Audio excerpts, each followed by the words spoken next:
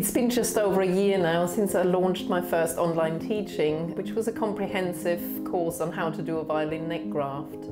Since then, I've made available three Zoom lectures uh, covering the areas of retouching, crack repair and bass bars.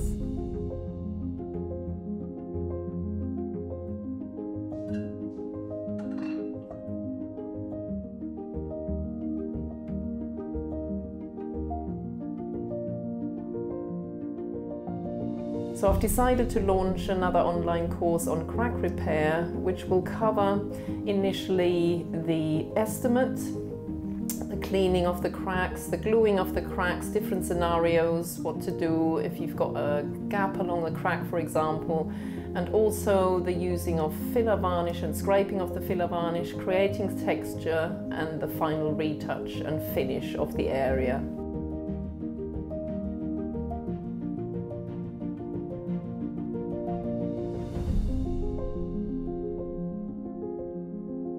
Let's get started.